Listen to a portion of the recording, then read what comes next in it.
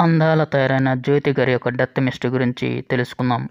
జ్యోతి గారు రెండేళ్ళుగా రొమ్ క్యాన్సర్ వ్యాధితో చికిత్స పొందుతూ రెండు వేల ఏడు మే పద్దెనిమిదిన చెన్నైలోని ఒక ప్రైవేట్ ఆసుపత్రిలో మరణించారు జ్యోతి గారు.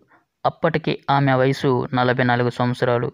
జ్యోతి గారు సుమారుగా యాభై చిత్రాలలో నటించారు. తెలుగులో నటించిన పలు చిత్రాల గురించి తెలుసుకుందాం.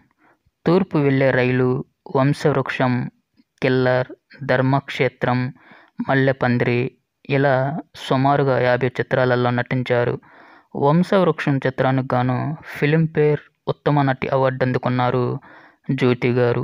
జ్యోతి గారు మరణ వార్త వినగానే ఈమె అభిమానులు సినీ పరిశ్రమ వాళ్ళు అందరూ భారీగా తరలివచ్చారు. జ్యోతి గారు నటించిన చిత్రాలలో చెప్పుకోదగ్గ చిత్రాలు తూర్పు వెళ్ళే రైలు వంశవృక్షం ఇలా మొదలైనవి చెప్పుకోదగ్గ చిత్రాలు.